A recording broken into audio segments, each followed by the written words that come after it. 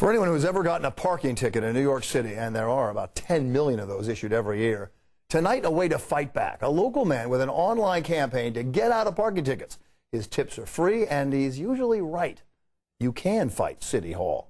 Here's Eyewitness News reporter Michelle Charlesworth. Any luck fighting these? Sure. Look at this guy's smile. Jack Richer has saved more than $350 in tickets over the past year. He's helped me win those. All of them. One, one I took the discount on again, but four others I've won. Wow, pretty good, pretty good numbers. He's very helpful. Always good to hear. And this is the man he is talking about, Larry Berezin, a lawyer who runs the website NewYorkParkingTicket.com. Berezin gives loads of free advice on his site, including a ticket on which he points out spots where one can possibly find a ticket erasing mistake.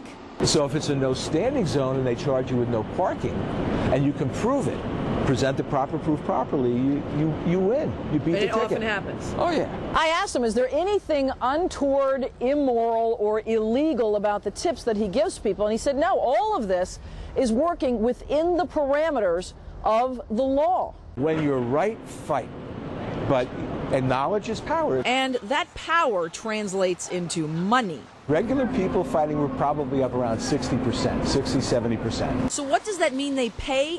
What happens to the orange calling card? Erased. Done. Zero. Zero. And do Nada. they have to go to traffic court? no. He says one big thing to document with pictures is the address of where you were parked when ticketed and the date. Even the spacing, if you can measure that out. Make sure you have proof. Spend at least as much time sticking up for yourself as the agent spent writing that ticket. They put the wrong address, they put the wrong violation, they put the wrong information about the vehicle on the ticket, and that's a valid reason to have it thrown out. And that's New York City regulations. He promises you can wave some of those tickets goodbye. Michelle Charlesworth, Channel 7, Eyewitness News.